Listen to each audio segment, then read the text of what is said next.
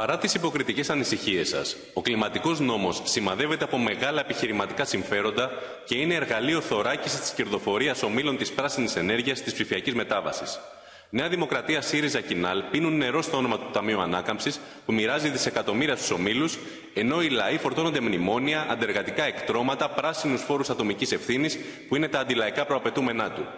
Τέτοιοι κανονισμοί ξεπλένουν περιβαλλοντικά εγκλήματα με την έγκριση όλων των κυβερνήσεων. Υπεριαλιστική πόλεμη, παράδοση γης δασών σε πράσινους καπιταλιστές, χιτά τύπου φυλής, καύση σκουπιδιών για ηλεκτρενέργεια, καταστρέφοντας το περιβάλλον, επιρροαρίνοντα τη δημόσια υγεία.